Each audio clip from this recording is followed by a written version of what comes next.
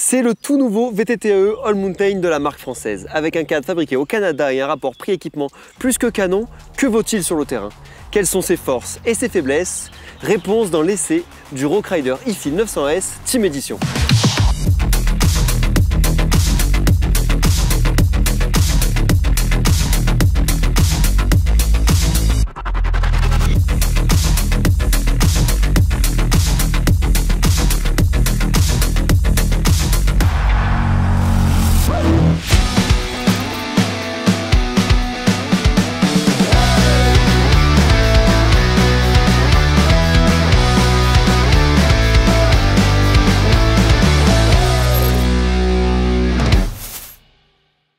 Le e-fil, c'est le nouveau VTTAE All Mountain de chez Rock Rider. Il est sur un cadre entièrement en aluminium fabriqué au Canada, des roues 29 pouces et un débattement de 150 mm à l'arrière et 160 mm à l'avant. Avant de démarrer la machine, Adri, on va tout d'abord parler look. Est-ce que ce Rock Rider, il t'a séduit? Moi, il m'a séduit.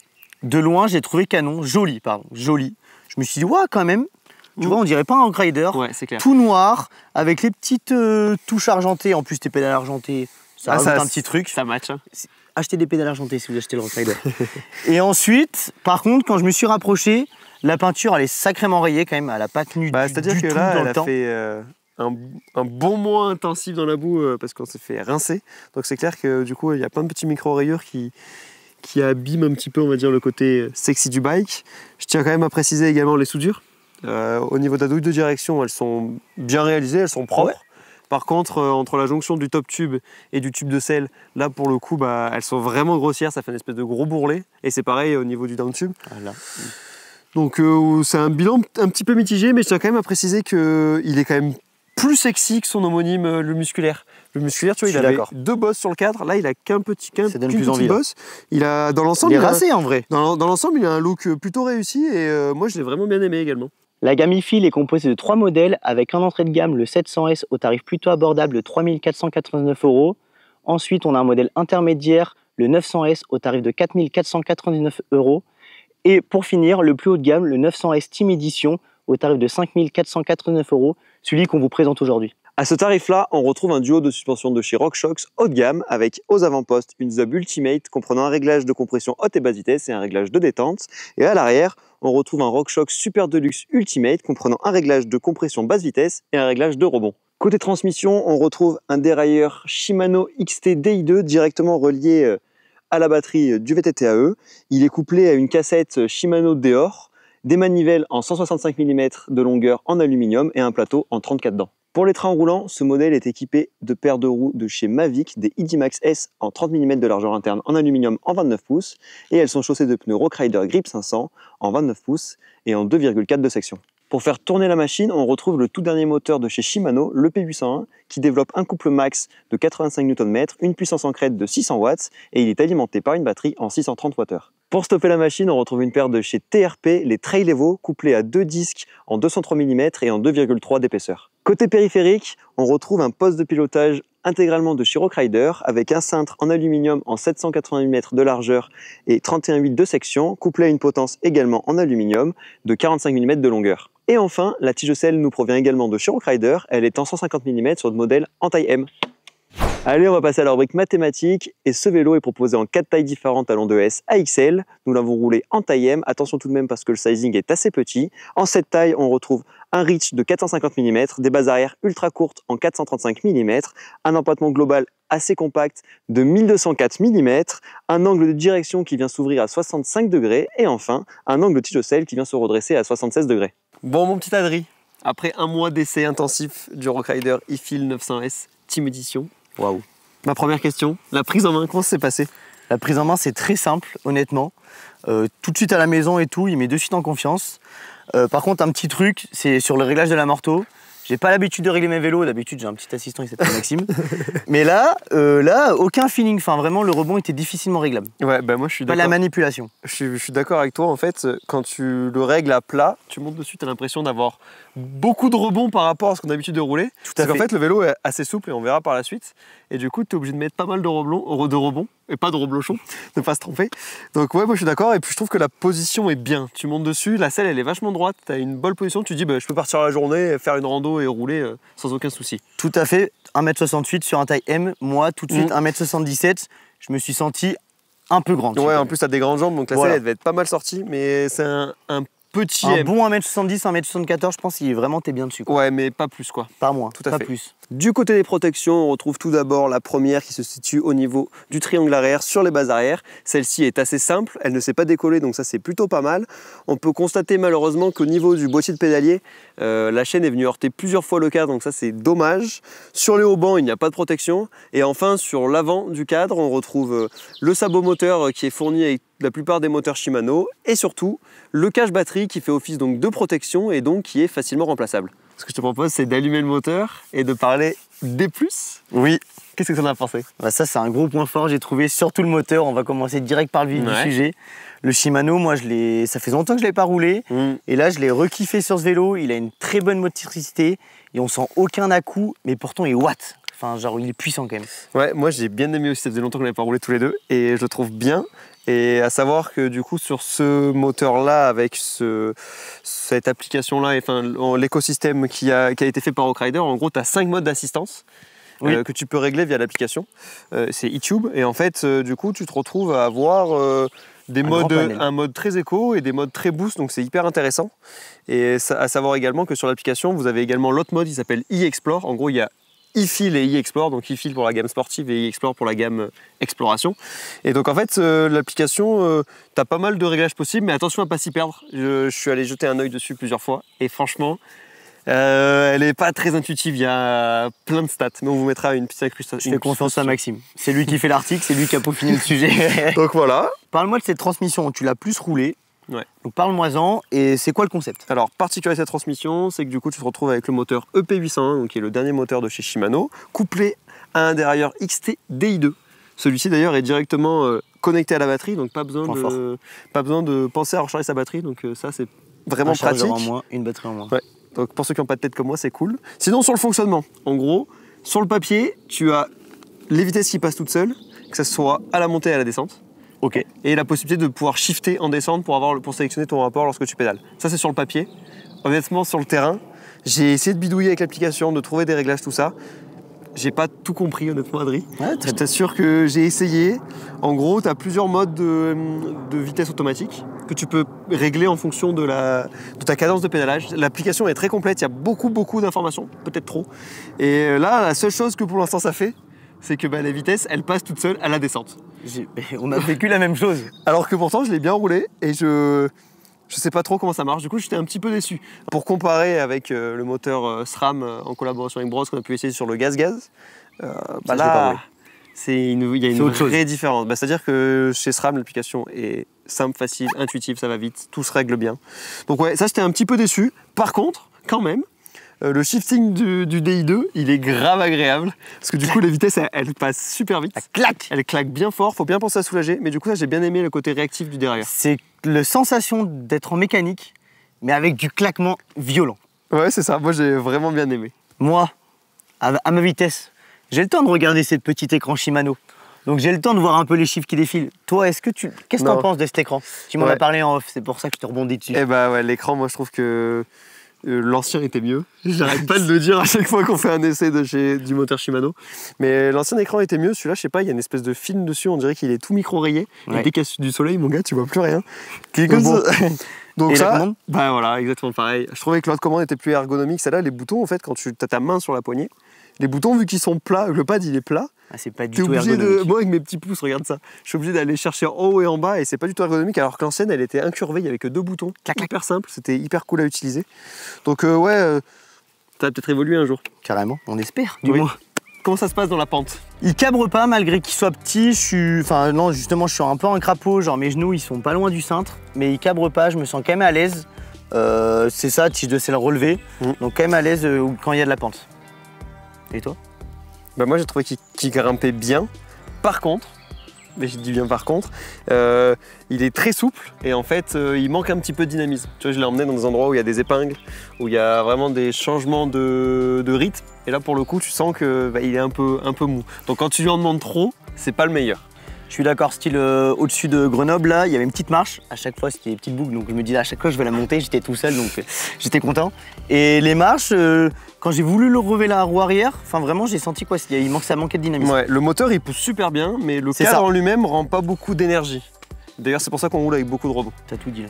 Après, sinon, en termes de stabilité, confort, etc., ça j'ai trouvé que c'était franchement son point fort. Oui. Euh, il est hyper confort, la cinématique elle travaille correctement. C'est pas la plus sensible qu'on a eu du Oui. marché, on oui, pas se on est d'accord.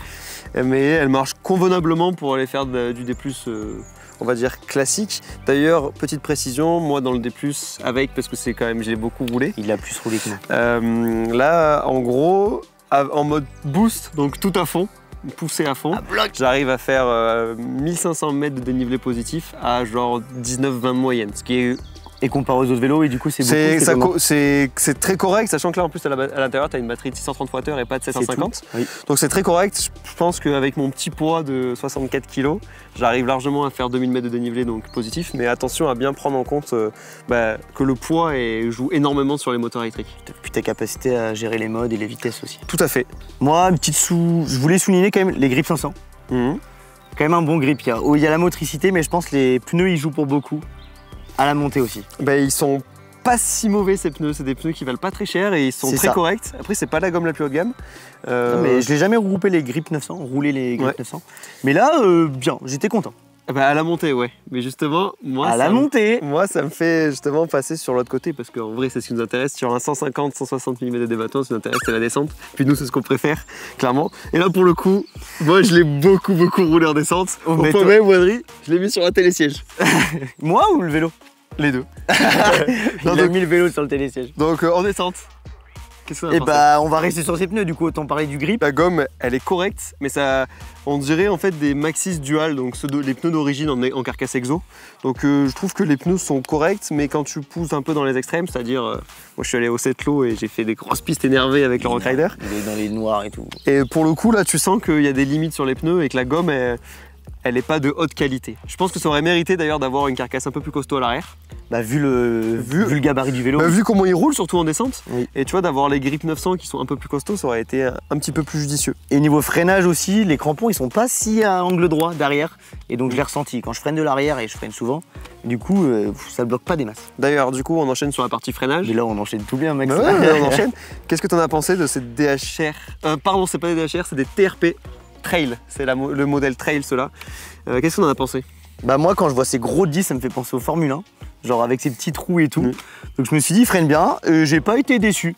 C'est pas les meilleurs freins non plus, mais j'ai pas été déçu. Moi, j'ai bien aimé leur côté très progressif. Euh, ça pile pas du tout. J'aime bien le toucher. Je trouve que le levier se prennent très bien en main. J'aime bien le toucher.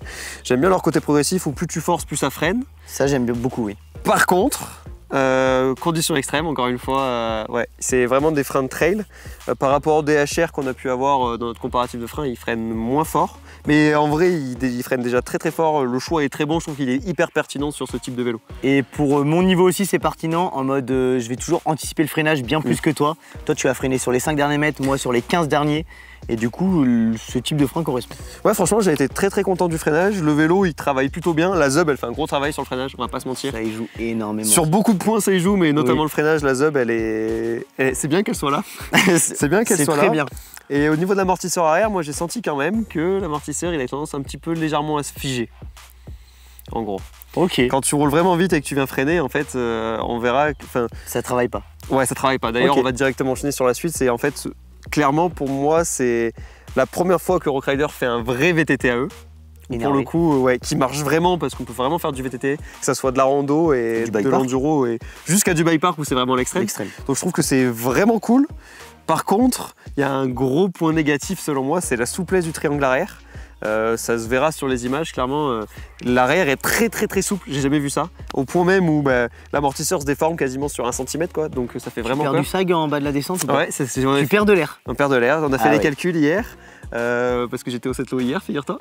En gros, je perdais 1% par descente, pour te dire.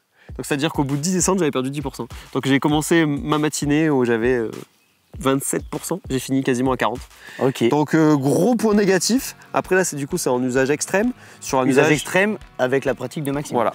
Euh, en pratique modérée, je pense que vous n'aurez pas de perte de pression. Je mais pense que à vérifier sur l'entretien, bien penser à faire l'entretien de suspension parce que du coup, je pense que les bagues de guidage, elles travaillent un peu plus que sur des vélos qui ont un peu moins de jeu. tout à fait. Moi, je pense que j'aurais pas de problème de sac forcément vu comment j'appuie sur le vélo. Par contre, je le ressens dans la roue arrière. Ouais. Euh, même si j'appuie pas ultra fort, je sens que c'est souple et ça me chagrine un peu. Ouais, mais par contre, il y a quand même des avantages à la souplesse. J'en ai trouvé pas mal. Déjà, le grip dans les virages. Le fait que l'arrière se déforme, t'as un grip dans les virages et une prise de confiance qui est folle parce que Ça, gros, ça fait un gros rail Ouais. quand tu prends tes virages. Ça travaille quoi. gros point fort pour moi, c'était justement la- les virages, mettre de l'angle très facilement. Et tu mets de l'angle et en vrai, je me pose vraiment pas de questions. Il y a vraiment un grip de ouf. Ouais. Comme ça se déforme, Ouais, mais ça grippe. à quel, à quel prix? C'est ça la question. Ça, je sais pas. Et après, niveau stabilité. Là, moi, j'ai trouvé. En fait, j'ai été surpris par le vélo. Je m'attendais pas à ce qu'il marche si bien, honnêtement, Adri. Ouais, je Euh, sais, je t'avais la banane. Ouais, je suis allé rouler avec plusieurs, beaucoup de fois et j'ai vraiment eu la banane. Je me suis régalé avec. C'est niveau stabilité, il marche bien. Juste euh, toujours pareil, pas les limites. C'est-à-dire que quand tu fais des enduros, euh, on va dire, euh, que tu fais des traces vraiment comme nous on a l'habitude, parce que nous on pose vraiment le matos dans les extrêmes, mais euh, le vélo est plutôt très stable. La Zub, elle fait vraiment du bien sur l'avant du vélo dans le sens où ça le maintient bien droit dans l'axe. Donc ça, c'est plutôt cool. Par contre, quand le rythme s'intensifie clairement, tu sens que la précision, elle n'est pas super au rendez-vous. Typiquement, l'exemple concret, c'est euh, tu, prends des, tu prends une trace ou une ornière et tu, dois, et tu dois viser l'ornière comme Moi, ça. je là. évite. Quand quand t'as pas le choix, t'as pas le choix. Et quand tu dois viser l'ornière, bah, c'est avec la vitesse, c'est super dur de placer sa roue précisément dans l'ornière. Et tu sens que ça se déforme un peu dans tous les sens et tu batailles un peu pour essayer de trouver une trajectoire à peu près propre. Moi, Donc, quand euh, ça m'arrive, je freine et je ralentis. Soit max. c'est bien aussi. Est-ce que t'as sauté un petit peu avec Toi qui, qui adore les sauts J'ai pas sauté, celle-ci, elle était belle. J'ai pas sauté. Si, non, je dis n'importe quoi. Tu m'as déstabilisé là. J'ai un peu sauté avec et je trouve ça en saut. Après, je le trouve assez lourd. Genre, c'est pas un voltigeur. Tout comme moi. Ouais. Mais quand il décolle, ça va. Genre, je suis pas surpris. Il a besoin d'un petit peu de force pour décoller. C'est ça. Mais par contre, je trouve qu'en l'air, on a fait des grosses tables et tout avec au cette c'était pépite. Mais euh, du coup, il est hyper bien équilibré, hyper sain. Euh, pour un gros élec, tu sens pas trop le poids. Une fois qu'il est en l'air, tu sens pas trop le poids. Il demande un petit peu de force pour le faire décoller. Mais c'est pas pire que certains vélos qu'on a pu avoir en essai, franchement. Euh, c'était une très bonne surprise. En fait, c'est un bon petit jouet. Ouais, après, je me suis senti un peu grand et du Ouais. coup, oui. Je pense que moi, du coup, il est bien à ma taille. Donc, je me suis vraiment régalé avec. Et du coup, en parlant de jouet, je pense que c'est le temps de parler du fun. Est-ce que tu as Bien pris sûr. du fun au guidon de la machine? Moi, j'ai pris du fun dans sa confortabilité. Sa confortabilité? Ça se dit ça? Probablement. Bah oui. Dans le Poitou, sûrement. dans son sens confortable. Et ensuite, euh, il m'a mis à l'aise, donc euh, j'ai trouvé ça fun.